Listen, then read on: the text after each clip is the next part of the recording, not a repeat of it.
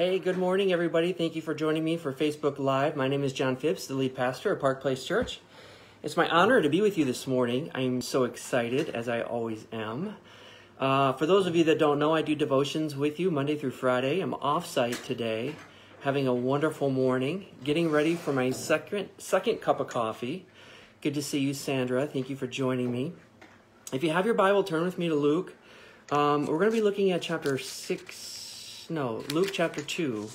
Um, yeah, Luke chapter two and it's going to be kind of an interesting story. Good morning, Pam and Diana and the other Pam. Lynn, Terry, Sheila, Pastor Dale, thank you for joining me, buddy. Good to see you guys. Hope you're doing well. Well, as you're working your way over to Luke chapter 2, I just want to tell you that um, the Bible study last night went really well. I taught for about an hour, and then I posted it to my page. So, if you don't know this yet, I taught on sex so you might want to take a look at it, the difference between sex and love, and the importance of both. Um, obviously, um, it's something that um, most of the people that were with me in person in the sanctuary seemed to really enjoy and hopefully learned a few things about. But the you know the interesting thing is sex is everywhere in our culture, isn't it? I mean, it all comes kind of like from Hollywood. Good morning, Pastor Pat, and I see all the other names there.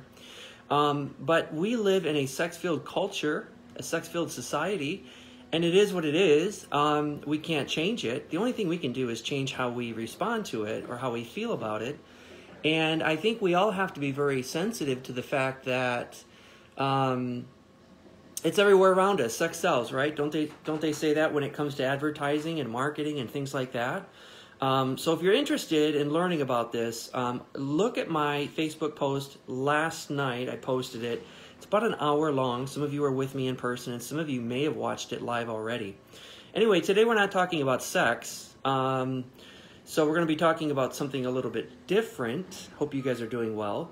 After I got home last night, I was so tired. I started to watch a UFC fight um, that was pre-recorded. You know how I do, and I watched a little bit of it. I think I might have fell asleep by about 9:30.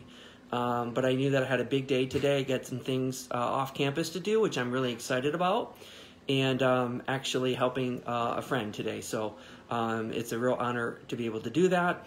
And then I had to move some appointments. Um, so, uh, like I said, I'm not at my office. I'm not at the church. I'm having my second cup of coffee already. Don't judge me. And I'm going to taste it and let you know if it's good. Very good. It's very good. Very good coffee. Better than the first cup I had this morning. Very different. Actually,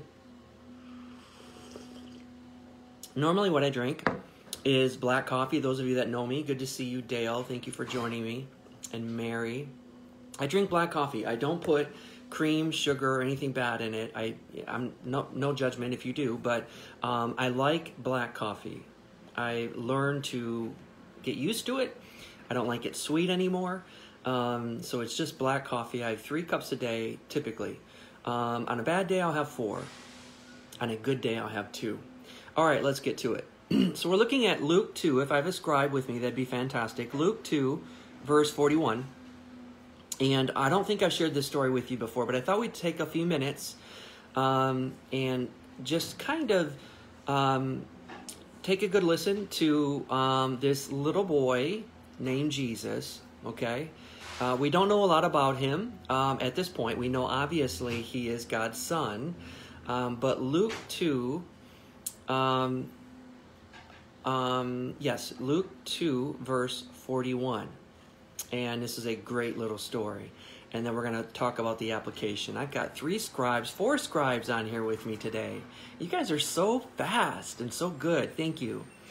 Every year, Jesus' parents went to Jerusalem for the festival of the Passover. When he was 12 years old, they went up to the festival according to the custom.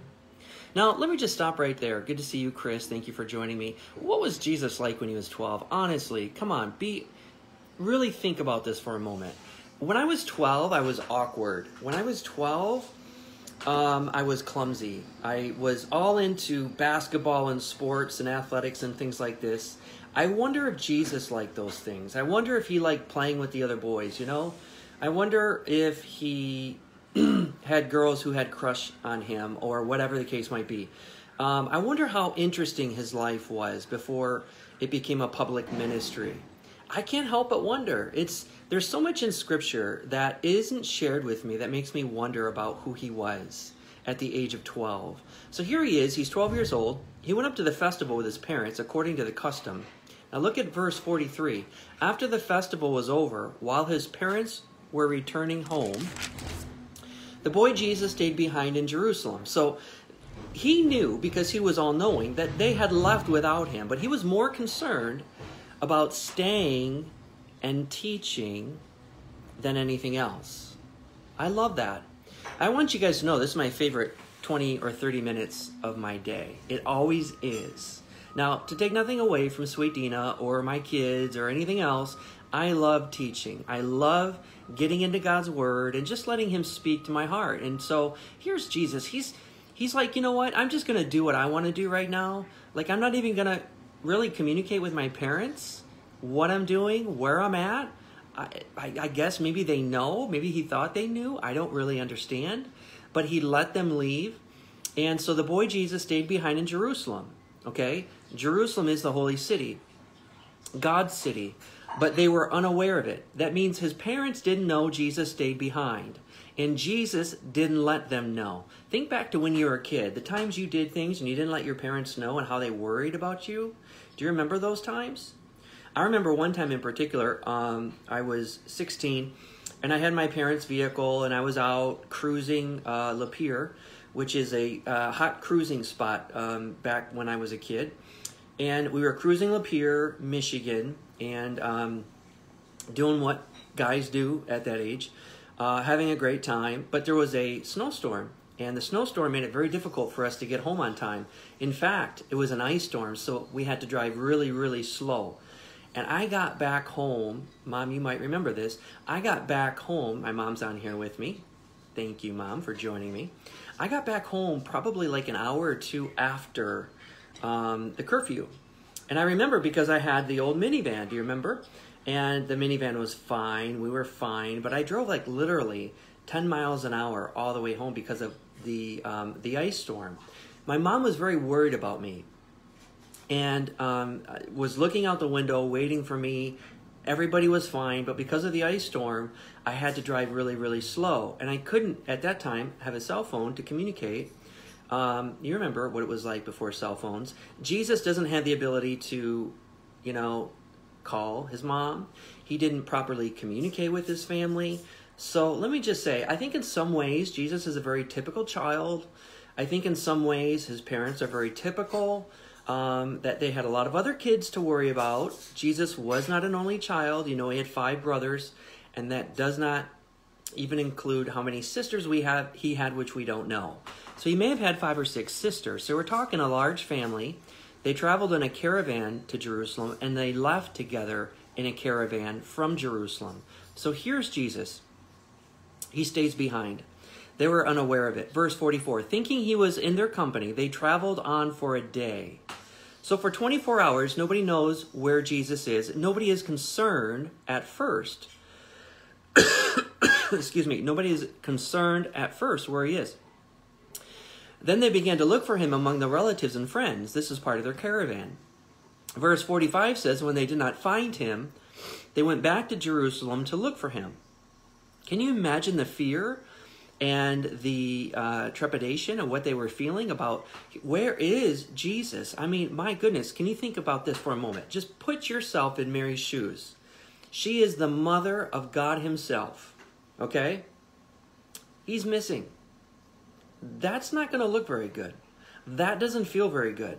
Like, okay, maybe James, okay, maybe Judas, um, maybe one of the other brothers, Joseph, okay, there was a, you know, th- th- there were five of them. I think Simon was another one. Uh, they can be missing. This is God's son. Uh, this is a little bit different. This isn't Joseph's son. This is Mary's son. This is the son of God.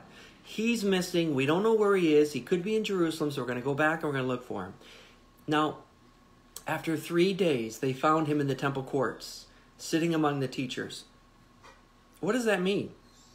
It means they did not know where to find him. Jerusalem is a very big city, And a lot of people were there, a lot of foreigners were there.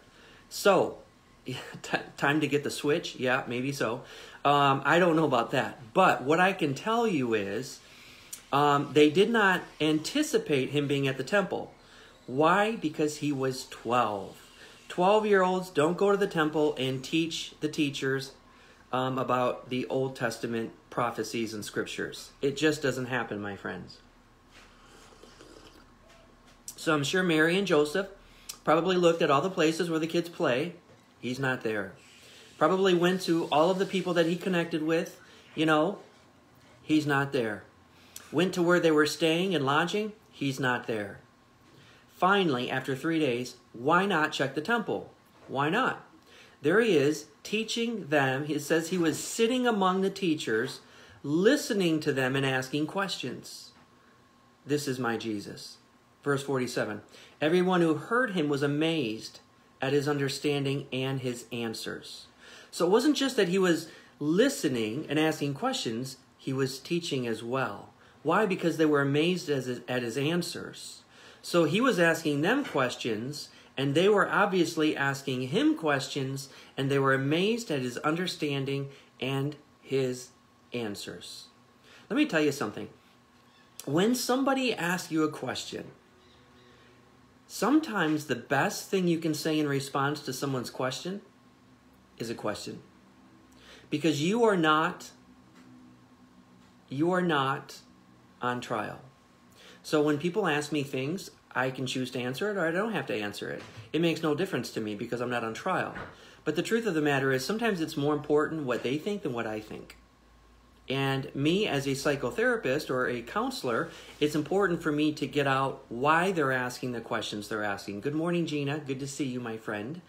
Um, so Everyone who heard him was amazed at his understanding and his answers in verse 47. But in verse 48, when his parents saw him, they were astonished.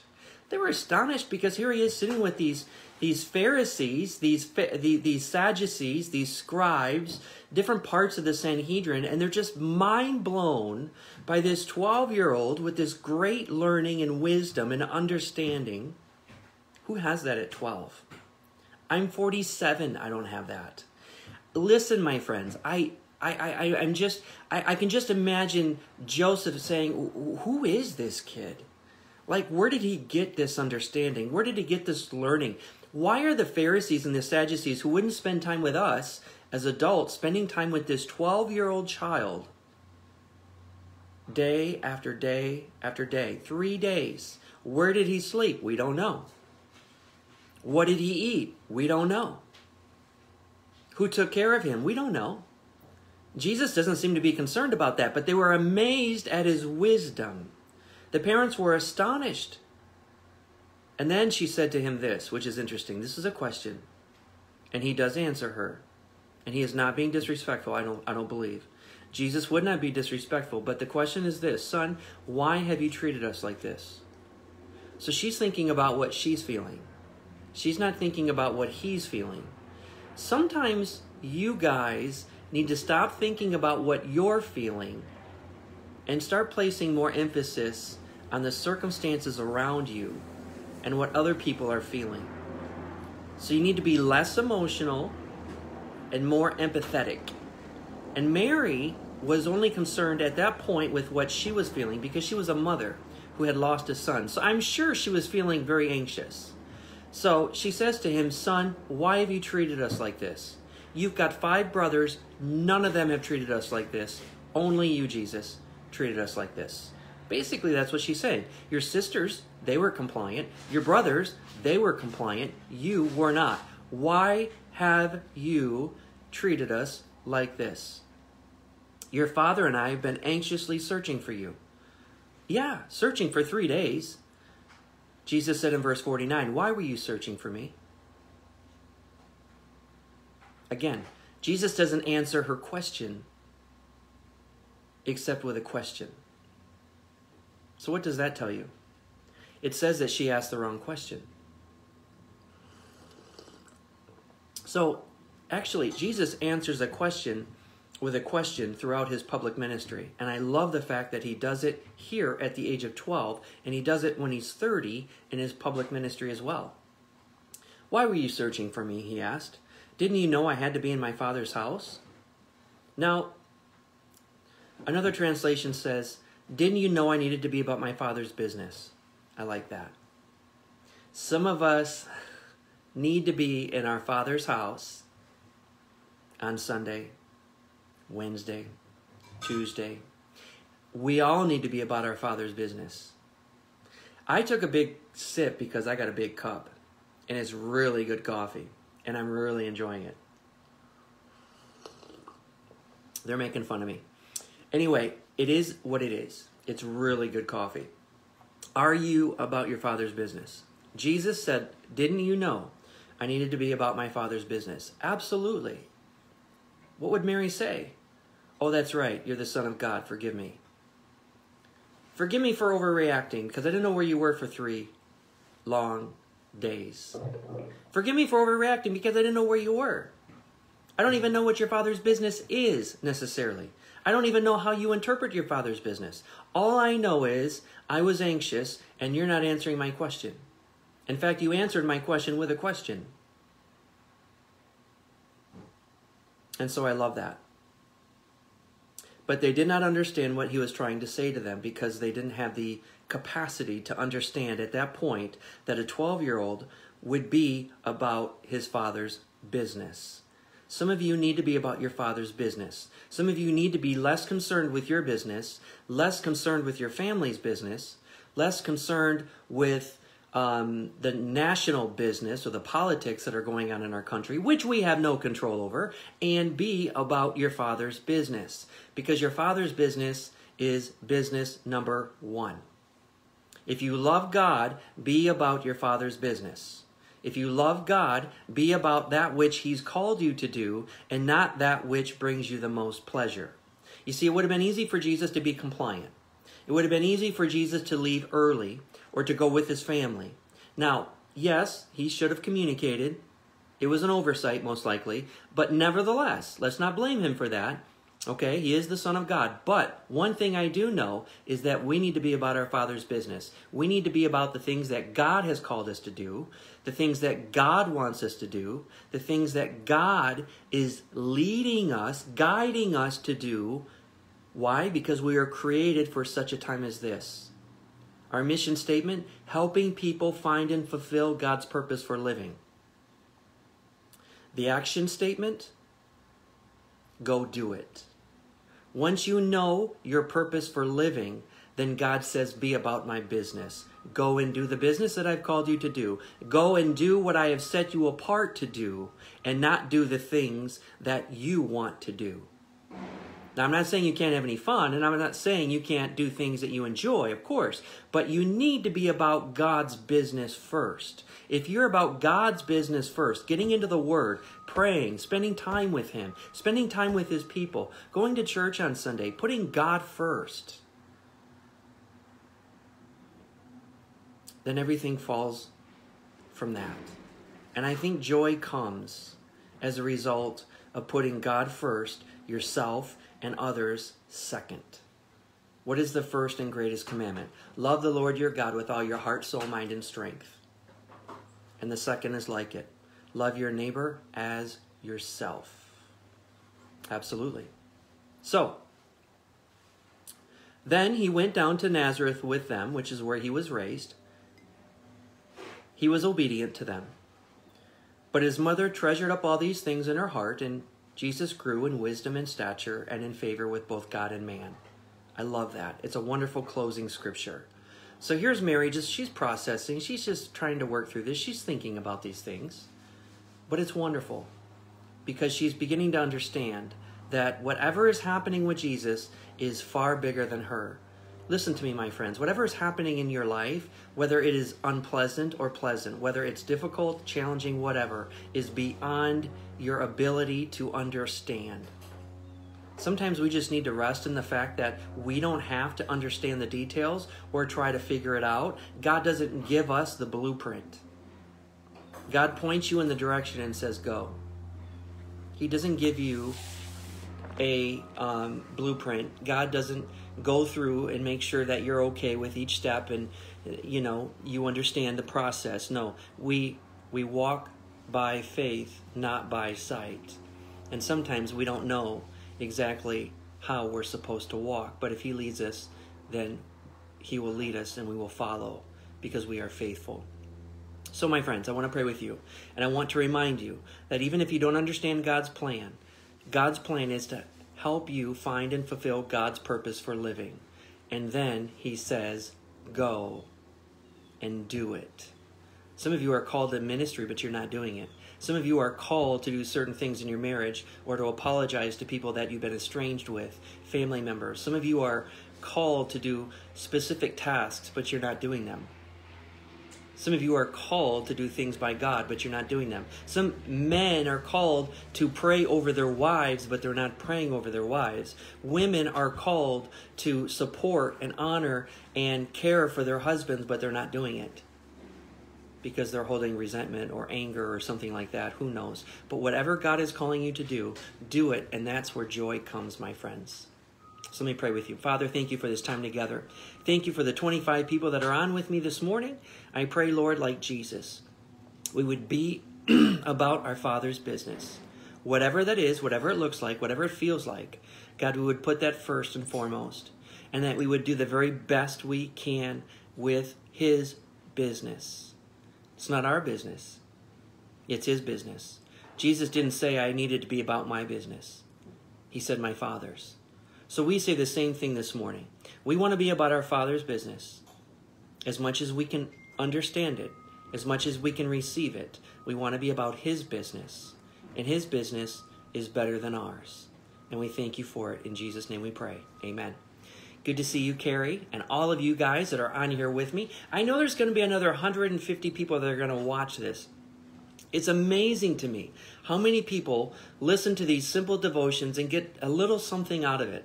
It's just a simple lesson. It's a reminder to us that we need to be about God's business, whatever that is. Please share this if you want to, and um, you can post it to your page. A lot of people will go on the um, Park Place page and they'll they'll watch it tonight when they get home from work. That's fine. I hope you guys have a wonderful day. Today is Thursday, so I'll be with you again tomorrow from um, the comfort of my couch, and um, I will look forward to it. Nothing going on tonight. Had a good Bible study last night. Like I said, I taught on love and sex, and if you want to watch that, you can. It's on my Facebook page. Have a wonderful day. I love you guys. Be blessed.